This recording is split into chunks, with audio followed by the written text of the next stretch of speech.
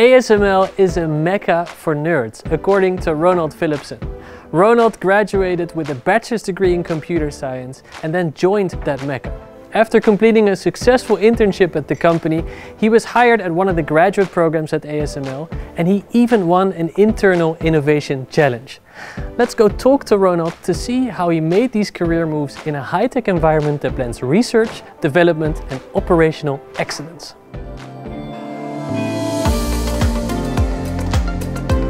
Hey, Ronald. Hey, Mark. How are you? Good, how are you? Do you have a moment? Yeah, of course. Oh, let's go.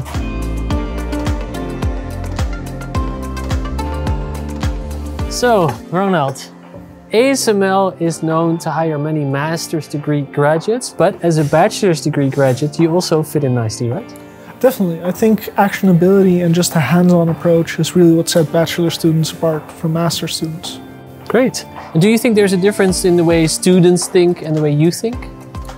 I wouldn't like to compare myself to others, but I, I think working at ASML, it's given me a lot of freedom uh, to explore what I want to do. As long as I get stuff done, I can do a lot of side projects and just see what my interests are within the company. Have you already reached the phase where you can now guide people as well? Yeah, I currently am mentoring an intern who's working in a different part of the company. So just that collaboration and yeah, doing side projects, that's really rewarding for me. So ASML has a big campus. Shall we check out some other places as well? Sure thing.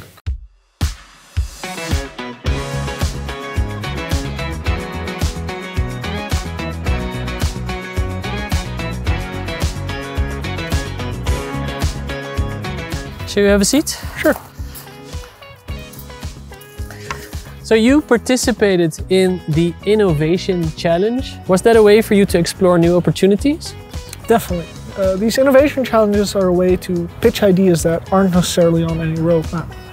If you win, you get three man months, so a quarter, to, to work on something. If the results are good, it might even end up in one of our new products. We pitch an idea where we reuse algorithms written in one language in applications written in another. It might not seem all that interesting, but it's a huge problem that we face when we have so many engineers working on the same things. Right. Did you win? We did, yeah. Congratulations. Thanks. I can assume it was also quite challenging to take on this new project? Definitely. But you've got great coworkers all around and everybody's there to help you. We work as a team. So it's not a question of who wants to help you, but where do you find them?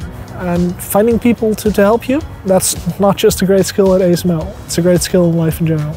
And now, do you have any wisdom for engineering students who might be watching you and thinking, oh, this guy is doing fantastically well? Just pick something that you're really passionate about, that gets you up in the morning, and just do it. Laser focus on that one thing and see where it brings you. That's great advice. Thanks so much, Ronald.